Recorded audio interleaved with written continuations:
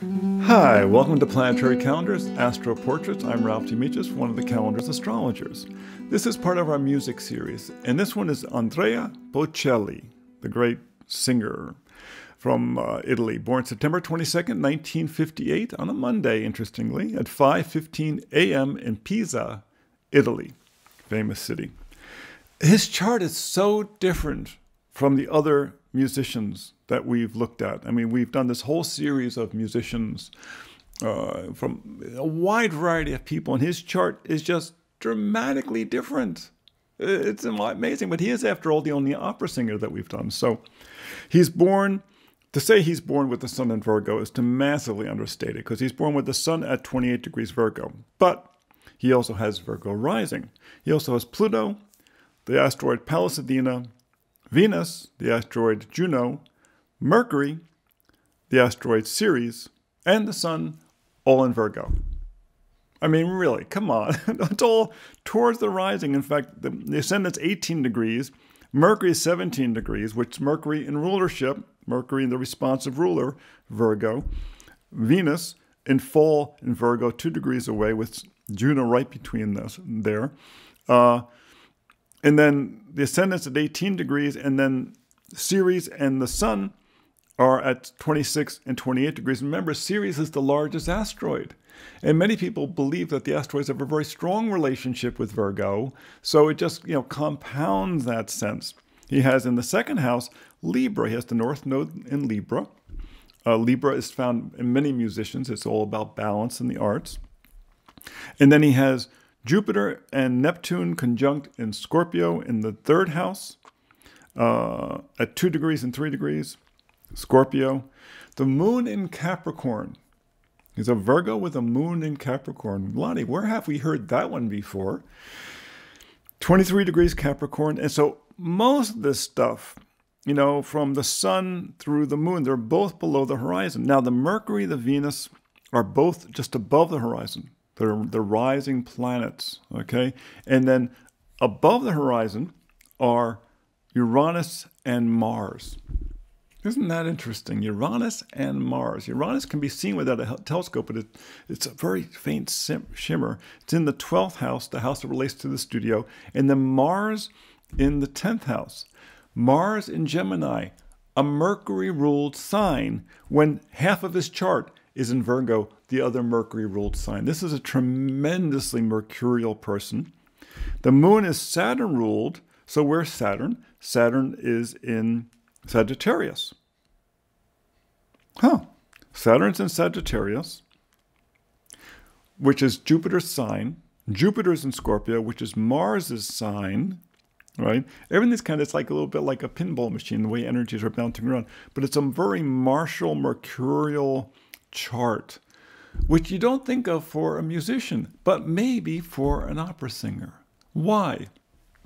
Because unlike Sting, for instance, who's a little bit older than him, he was a writer, he's a composer, he created the music.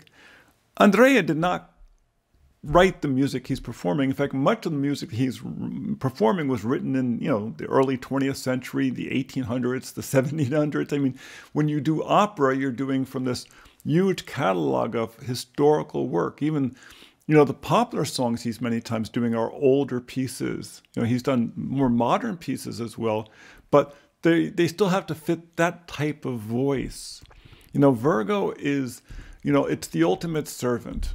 You know, um, Virgos were always popular to have as children. Why? Because they were great during harvest time because they have great manual dexterity. They're picky. They they can go through all the little grains and pick out the good ones and get rid of the bad ones. And it was always encouraged to have Virgo girls in your family because you know if you could have them working during the harvest right? Remember, in an agricultural society, it's a role about service. So his he has a very strong sense of, you know, the willingness to, you know, be a servant to his art.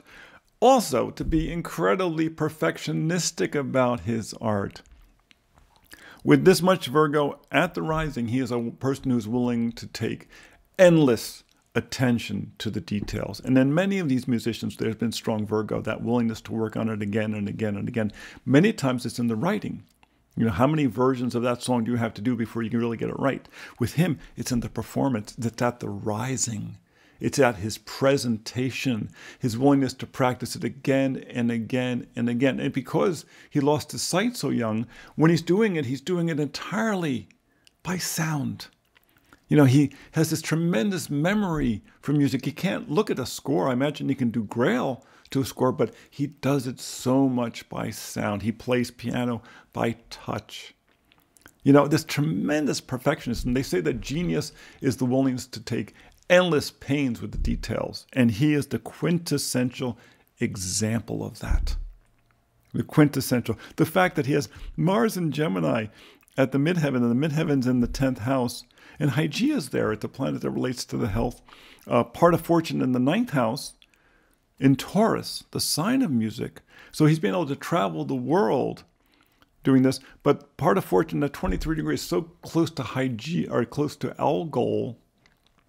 Algol oftentimes has shown up in charts related to issues with the eyes. Why? Because it's it's the position of the Gorgon. You know the um, you know the it relates very strongly to the eyes. This is something that's shown up again. But he's traveled the world, but not been able to see it. But he's been able to hear it, to be able to smell it. I mean, after all, the Italians, half of our lives is spent smelling things, I think. But the Mars in, in Gemini, it's about, really been about speaking out, about being a voice. He's being a voice for all these composers who came before. It's a fascinating chart. It really is amazing. And the moon in the fifth house is the house of creativity. The moon is at 23 degrees. It's trine the sun. So his emotional discipline in the arts supports his performance at the rising. It's so different from these other musicians' charts. So that's Andrea Bocelli, one of our great singers, one of the great voices of our times. You know, please come see us at Planetary Calendar Astrology on YouTube. We do our portraits like this and larger ones uh, every Tuesday. Then we do our forecasts on Fridays. Uh, you can also find the calendars at Planetary Calendar Astrology along with our books. And when you go to the YouTube channel, please subscribe because it's a big help to us. And besides, if you subscribe, you'll get reminded when you push that little bell when the forecast comes up because you want to know what's going on. Until next time, be well.